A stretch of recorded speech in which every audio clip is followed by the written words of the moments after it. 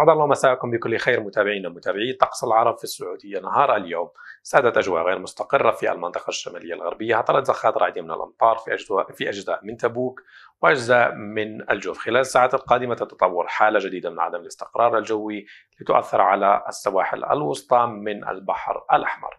نبدأ نشرتنا بالتوقعات الجوية للعاصمة الرياض خلال هذه الليلة حيث تسود أجواء غالبا صافية. 12 درجة مئوية كحرارة الصغرى عفوا الملموسه 11 الرطوبة مرتفعة والرياح شمالية غربية معتدلة السرعة.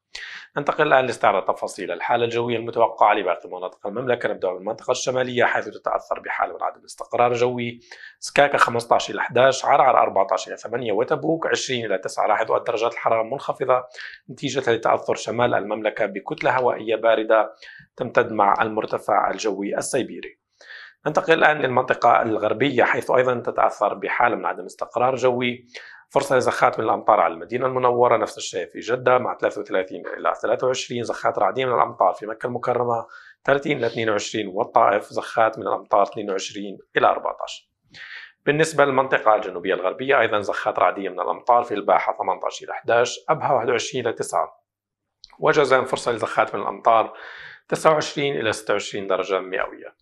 بالنسبة للمنطقة الشرقية الدمام 24 إلى 17 حفر الباطن أجواء غير مستقرة 16 إلى 11 الإحساء 23 إلى 13 أخيرا المنطقة الوسطى العاصمة الرياض طقس صافي 19 إلى 15 بريدة 21 إلى 14 وحائل 18 إلى 9 درجات مئوية. إلى هنا تنتهي نشرتنا إلى اللقاء.